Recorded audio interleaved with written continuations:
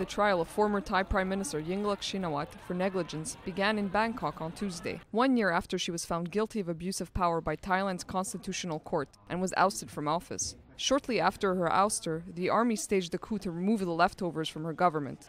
Yingluck denies the charges against her and reiterated her stance when she arrived at court. I'm confident that I'm innocent, and I'm confident in the evidence and witnesses which I will present to the court. I ask for your cooperation and kindness as the case is under deliberation by the court, so please refrain from leading or criticizing the case until it's over.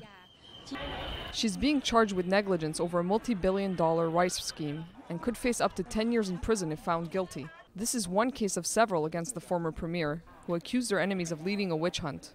During Tuesday's session, Yingluck was banned from traveling abroad and agreed bail terms of the equivalent of nearly $900,000. Her next hearing is scheduled for July 21st. Her supporters are convinced she's innocent. Today, I've come to offer support to Prime Minister Yingluck to fight because she did a good job in the past, and I want her policies to help people at the grassroots to continue. Meanwhile, the current Prime Minister said on Tuesday the government agreed to hold a referendum on the new constitution and the military's plan to restore democracy, which could delay the return to democratic rule. And the Deputy Prime Minister said the next general elections may not be until August of 2016 at the earliest.